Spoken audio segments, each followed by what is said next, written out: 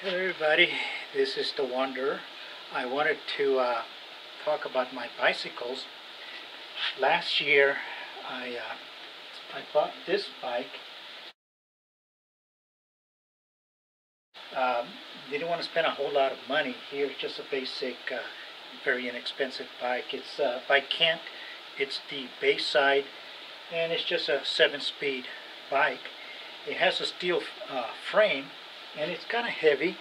Uh, since I got it, I added the uh, cargo rack, I changed the seat, I added the uh, ram mount for my phone and a mirror, and then on the inside of the tires I put um, I put the uh, heavier uh, puncture resistant uh, inner tubings and liners because it gets stickers. And the um, so it's it's a nice bike. It's very comfortable, relatively speaking, and uh, well, I also changed the seat. And but the um, it's a little bit heavy. This weighs, I would say, more than 45 pounds the way it is. And the very first day that I rode it, I got stickers on both tires and got flat tires. So that was uh, that was a learning experience.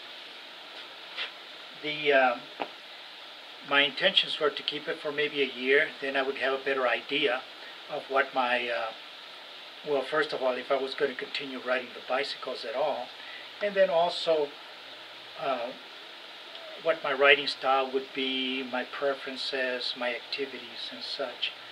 Um, so one thing I noticed was that uh, a lot of other bicyclists would pass me all the time. And it's not necessarily the bicycle, they're just in better shape. But I thought I could do, uh, I could go a little bit faster because it's just a seven speed. But the, uh, the fastest I ever got this bike was uh, 20 miles an hour. And I usually ride around the neighborhood for about an hour. I have a route that I follow. It's about 6.83 miles.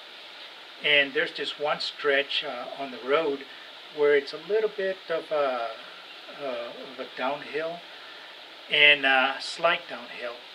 And uh, I, on top gear, I pedal as fast as I can, and I can't go any faster, but I know that it, it could be done.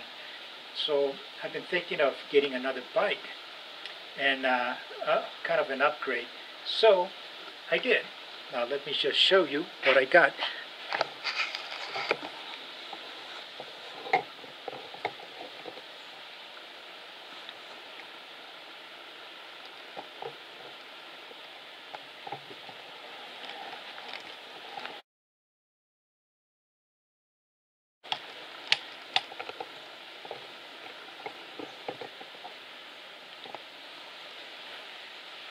I had uh, considered other bikes and finally went ahead and got this one. So this morning I took my first ride on it and uh, just like my very first ride on the other bike, I got all these stickers on there and two flat tires. So in both instances I had to walk the bike home. But it was a fun bike to ride before I got the flat tires. Uh, it's pretty fast. The this bike must be at least 10 pounds lighter than that bike and it has a 20, 24 speeds. So I went on top speed and uh, I managed to get it up to a little over 17 17 and a half miles uh, per hour uh, on that. And unfortunately um, I couldn't do any more because I had to walk it home. But it's a mountain bike so besides being lighter weight, uh, of course it has the suspension uh, forks on here, 24 speeds. And this is the Dynacraft's, uh, is the manufacturer. Ozone 500 is the, uh, uh, the brand name.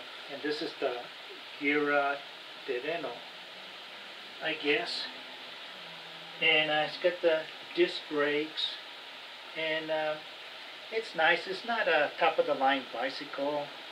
Uh, I didn't feel like spending a thousand dollars or ten thousand dollars on a bicycle. I'm not at that level. Uh, but a lot of the owners uh, were very happy with that. They thought it was a good value, uh, the features you got for the uh, money spent. So one of the things was that uh, I couldn't see different frame sizes for this bike, uh, only one. So it's a little big for me. Um, when I stand, I should be able to uh, stand over the top end of this back piece here, but it's too high. I can't stand in front of the saddle uh, flat-footed. And it's a different riding style, uh, leaning forward. That one is more comfortable in, in my position, but this one is so much fun. It's just fast, light, nimble. So uh, I'm going to be riding it some more as soon as I get take care of the flat tires uh, there.